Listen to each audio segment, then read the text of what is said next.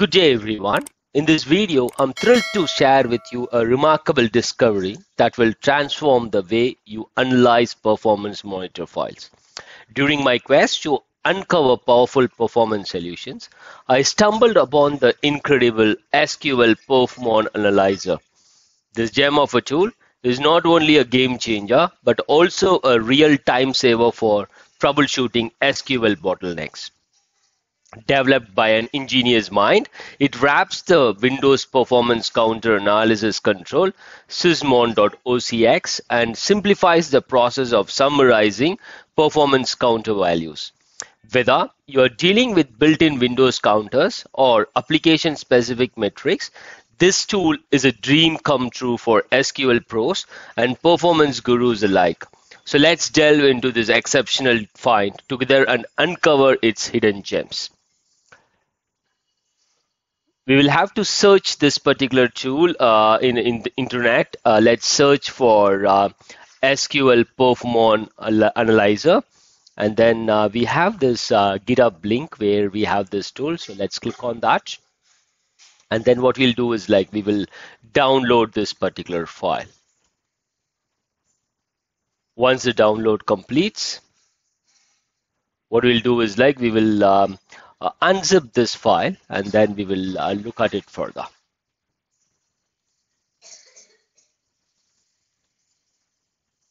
We'll move this file to C drive temp folder.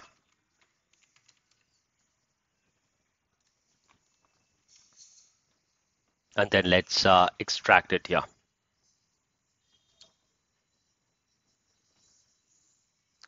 The file is extracted now. So what we need to do now is like we need to open this spa.sln on uh, uh, Visual Studio. So let's open it in Visual Studio. So in my case, I have uh, Visual Studio installed. So I will uh, open it there. And then once the file uh, opens there, what we'll have to do is like we will basically have to uh, build it. So uh, let's go to uh, build and then click on build solution here. Okay, so uh, the build is succeeded now. So let's uh, go back to that um, uh, location where we have this here. And then now let's go to this SPA folder inside bin.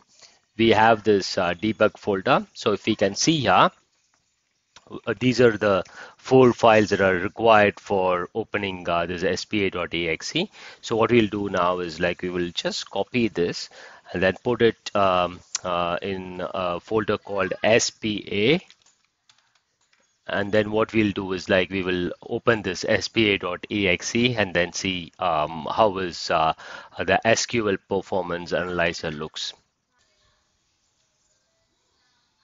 Let's uh, double click this spa.exe. So if we see here, uh, this is the um, um, uh, tool that I'm talking about. So what I'm going to do is like I'm going to select an uh, uh, existing um, um uh, BLG file and then I will just open one counter and then um, see how is the um, output looking. So what I'm going to do is like I'm going to click on this and then I will navigate to the location where we have the BLG file.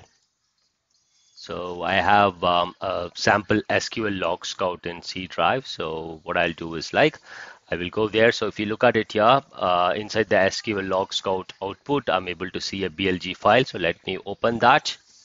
So it is open now. So you have this plus um, uh, icon here. Just click on that and then you can select whatever counter you want to look at. So right now what I'm going to do, I'm going to just select one counter uh, just to show you like how is the um, uh, look as far as um, whatever counters that you're going to select. So here, what I'm going to do is like I'm uh, going to uh, select uh, maybe prep percentage processor time and then click on add here and then click on OK. So if you can see here, we are able to see uh, the required uh, graph that is uh, I have taken uh, this performance monitor between 2:30 p.m. 2:13 p.m. to 2:43 p.m. and uh, if you want you can add uh, more counters as well so what I'll do is like I will add one in logical disk as well so let me add this percentage disk time total and then click on OK so if we see here we are able to see